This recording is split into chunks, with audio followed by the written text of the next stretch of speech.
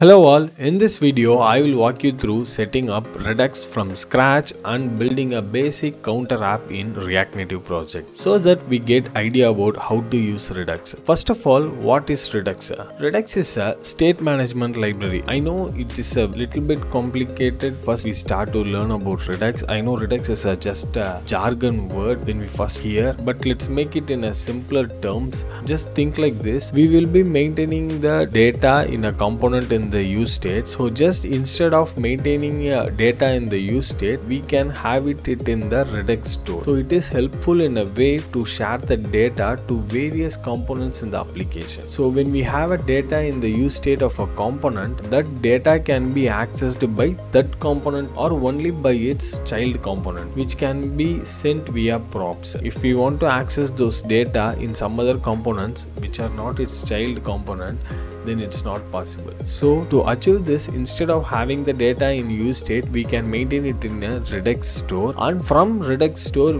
we can access those data in all the components through the application. Just think like completely taking out the use state from a component and maintaining it at some top level of the application so that all the components can access the data and we name that place as store and Redux is the library which provides this feature. It's especially useful for larger complex applications where the state can become difficult to manage. The main thing which you have to understand is Redux is not at all mandatory for every project. Its usage is a matter of trade-offs. Depends on the project's complexity and your specific needs, we have to choose Redux for your project. Redux introduces some level of complexity into your application. For a simple project, this might be a overkill and make your code base more complicated than necessary. In such cases, using local component state management might be a better choice. There are alternative state management solutions like React's built-in use reducer hooks as well as context API. For smaller projects or when you need more localized state,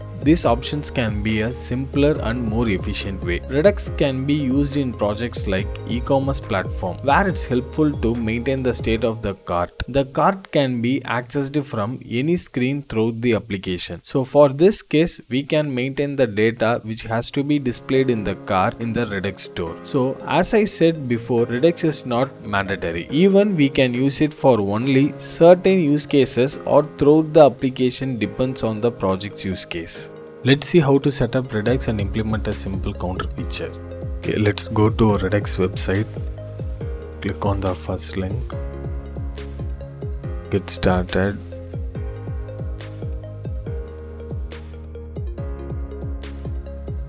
Okay, so here they have mentioned uh, Redux uh, Toolkit is their official standard approach for uh, writing Redux logic. So Redux Toolkit is just a wrapper around the Redux core with uh, some of the additional features. So in Redux, updating state requires uh, creating separate actions and reducers in a separate files. But with Redux Toolkit, it just simplifies this by offering the create slice method for uh, defining reducers. As well, for async operations, middleware like Thunk or Saga is used in Redux. So alternative to this, Redux Toolkit has a create async thunk utility for handling uh, async operations. JavaScript objects are uh, mutable in nature and Redux Toolkit uses a package immer but this we can achieve immutability. This makes Redux Toolkit a more streamlined and developer friendly way to use Redux. Okay, so now let's install Redux. Let's move the terminal to right.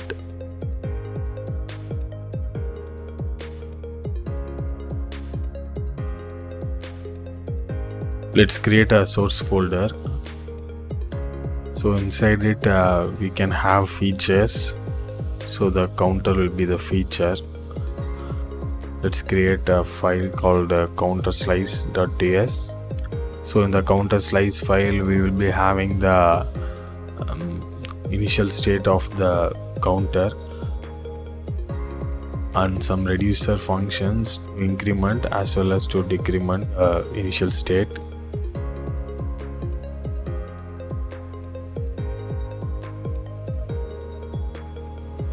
Okay let's import this uh, create slice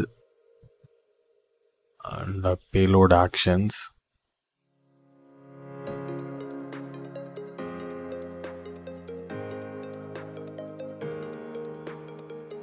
okay this will be the interface for the state we have.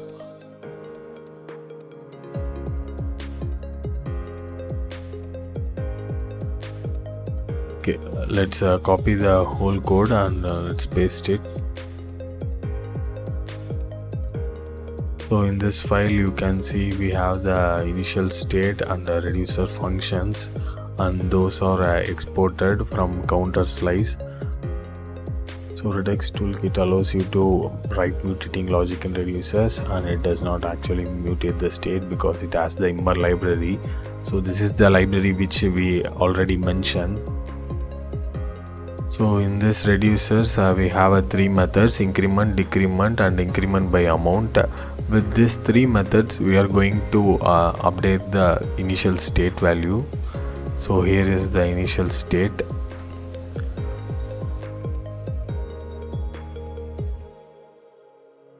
okay now let's configure the store. So here is the code for the store. Let's create a folder as app. Creating store.ts let's copy the code and paste it so here we have the code for a counter reducer which is imported from a counter slice file. So the store will be configured uh, with this uh, config store method. So here we have uh, two exported types uh, which is uh, the root state and app dispatch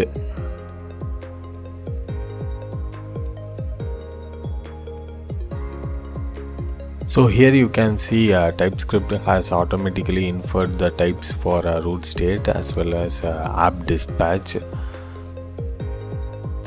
So with these two types uh, we can able to access the state and we can uh, dispatch uh, the actions to the reducer. So the final step will be we have to configure the store uh, into the application. So with the help of a provider method from react redux uh, we will be uh, put the store in the top of the applications component. So we will be passing the store through the provider. So let's import the store. We have the store in the src app folder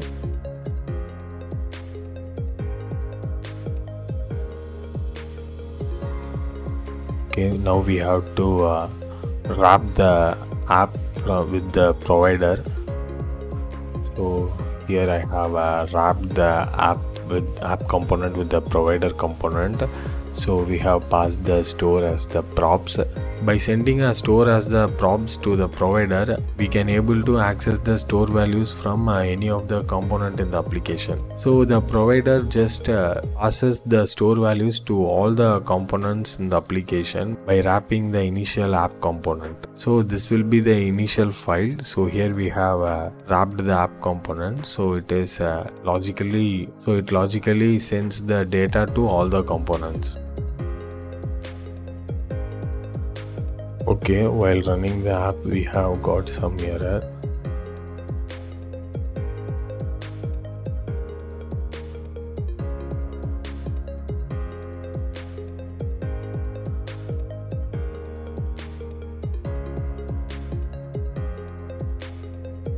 So let's clear it and uh, rerun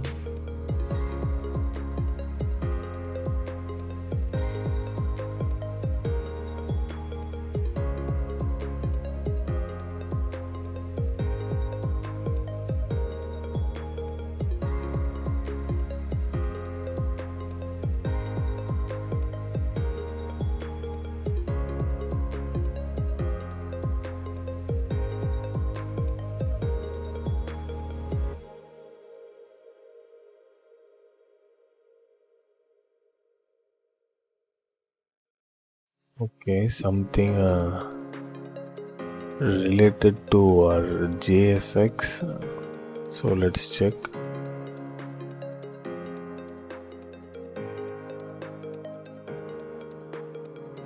Okay actually I think uh, I have to return this.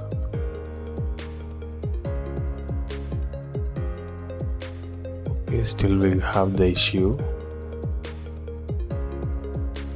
Okay, the issue is our react.jsx type is okay so we have accidentally exported a JSX uh, syntax. Okay got it. So in react native uh, this is uh, just a .js file. So here uh, we can't able to write any JSX uh, like we can't able to uh, use any angle bracket and write the component so let's move this uh, components imports to the tsx file. I just uh, create a app component. So let's check whether it's rendering. Yes it gets rendered.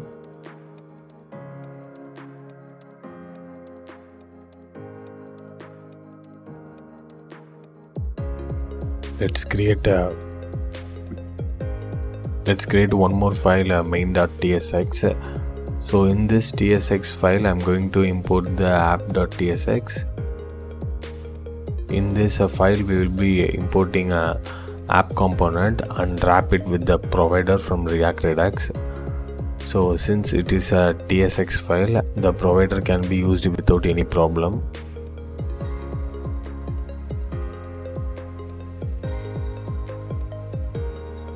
So let's import a store and provider.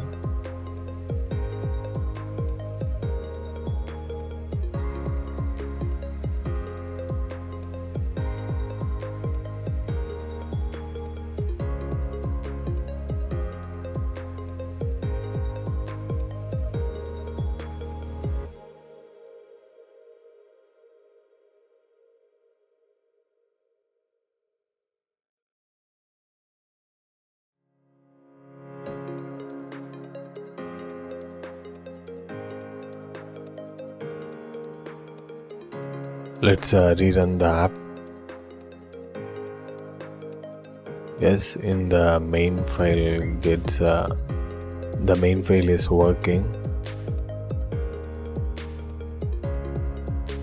Okay the store has been configured now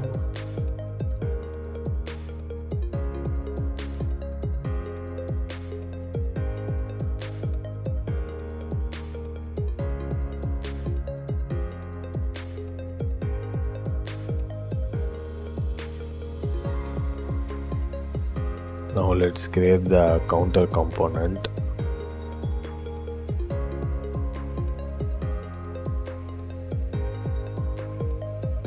Create a button. This button is for uh, increment. Whenever we press this button we have to increment a value. So the increment logic is in the reducer file like in a slice file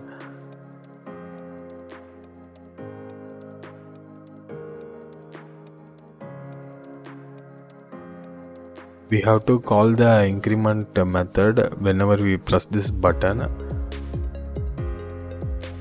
actually we should dispatch it.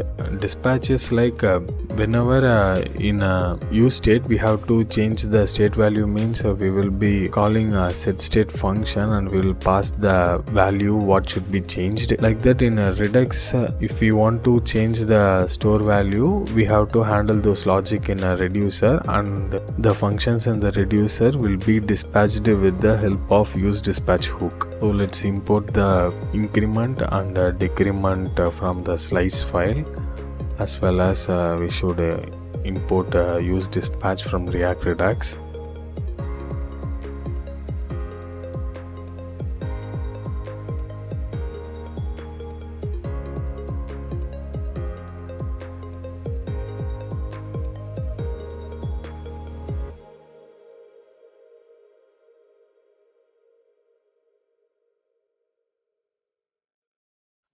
let's create one more button for decrement.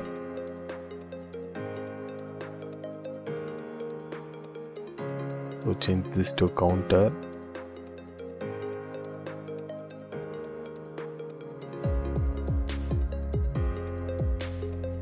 From uh, use selector we can get the store value actually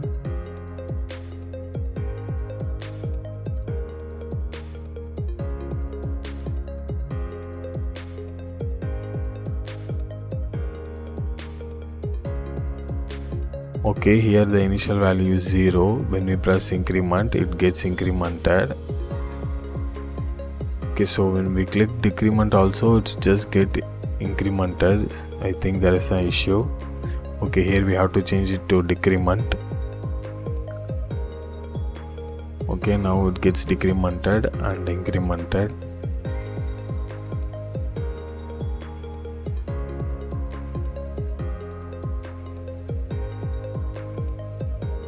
okay so here you can see whenever we click the increment the state value gets incremented. So like uh, on decrement the state value gets decremented. So there is a one more method we have increment by amount. So let's import that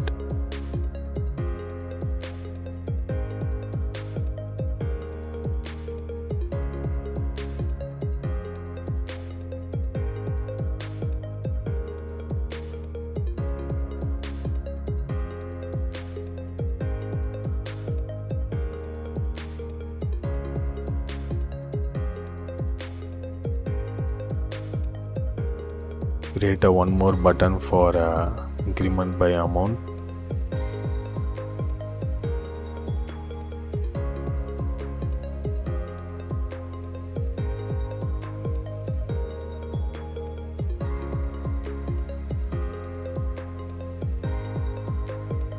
On the increment by amount I am just passing a 2 so whenever we click this button it should get incremented by 2 yes it's working as expected. Gets incremented by 2 I think we come to an end.